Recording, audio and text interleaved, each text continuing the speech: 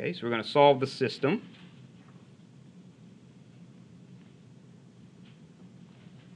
Three x minus two y equals two, and nine x plus six y equals negative six.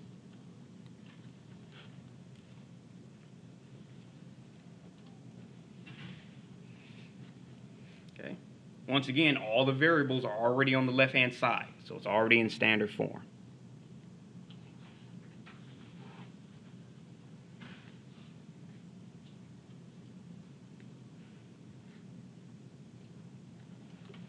Okay. Now, your second step is you want to be able to multiply it to where one of the variables disappear when you add them together. You can do one of two things. You can multiply this first one by negative 3, because negative 3 times 3 will be negative 9. You add that with 9, it'll disappear. Or you can multiply, actually, negative 3 will work for that one too. So we'll kind of see what we end up with there.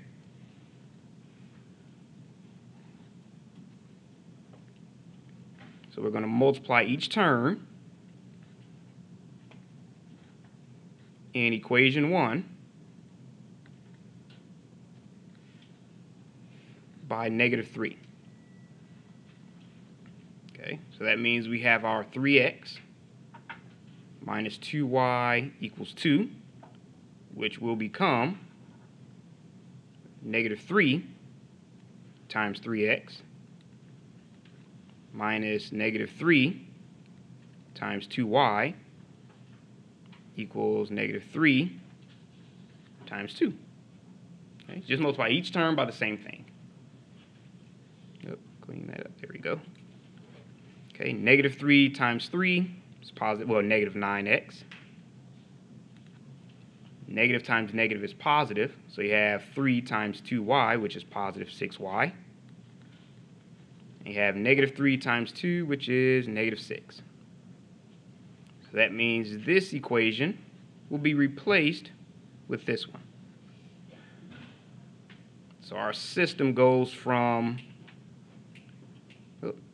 3x minus 2y equals 2, and 9x plus 6y equals negative 6, and it becomes negative 9x plus 6y equals negative 6, and 9x, uh-oh, missing a minus sign somewhere. Yep. This plus, where did I miss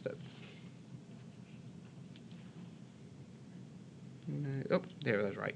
Negative 9x plus 6y. That first one should be minus. Why did I change that to plus? Nope, it should have been plus.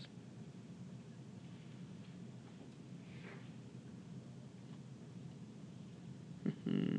Nope, we'll see. Oh, no, I'm right. Never mind. Equals negative 6. Okay, so we go, might as well go ahead and just add them together since we're here. Okay, so you have negative 9x plus 9x is 0, so that disappears just like we want it.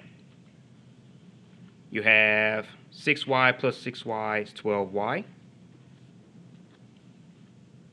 Negative 6 times negative 6 is negative 12. So you have 12y equals negative 12. Divide both sides by 12. That cancels out.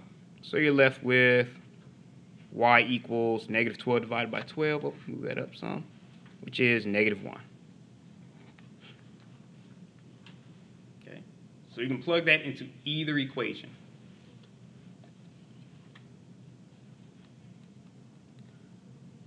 So you have 3x minus 2y equals negative 1. Oh, make sure I didn't mess up. 3x minus 2y. Hmm. That's where I messed up. Forgive my mistake. This should have been negative. That's why it didn't work out the way I thought it should have. Okay, so that means we should have multiplied it just by 3, by positive 3. So if we multiply it by positive 3, Okay, so that means this should have been positive, and that should have been negative.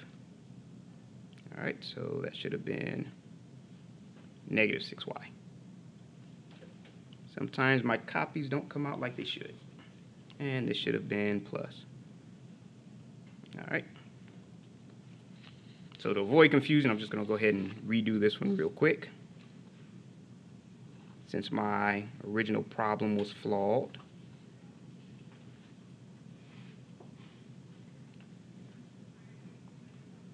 Three x minus two y equals two, and negative nine x plus six y equals negative six. All right, we'll go through the first half of it pretty quickly because it's kind of a short problem. Okay, remember your first step already in standard form. Uh-oh. Second step, we're going to multiply the first one by positive 3.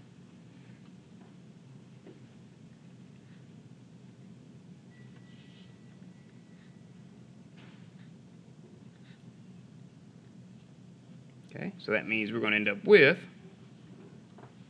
3 times 3x minus 3 times 2y equals 3 times 2. So you have 9x minus 6y equals 6. Okay, so that means our original equation, 3x minus 2y equals 2, and negative 9x, uh-oh, move that up some, sorry about that, plus 6y equals negative 6, will now become 9x minus 6y equals 6, negative 9x plus 6y equals negative 6. Which is why I was so confused when it came out to be y equals 1, because it shouldn't have been there. Okay, so if we add everything together, 9x minus 9x is 0, negative 6y plus 6y is 0, 6, negative 6 is 0. We end up with 0 equals 0, which is true.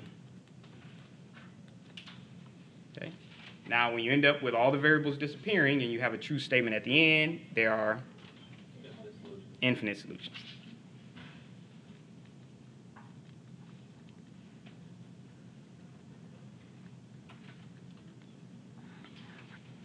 Okay, so that's the last example. Any questions on that one?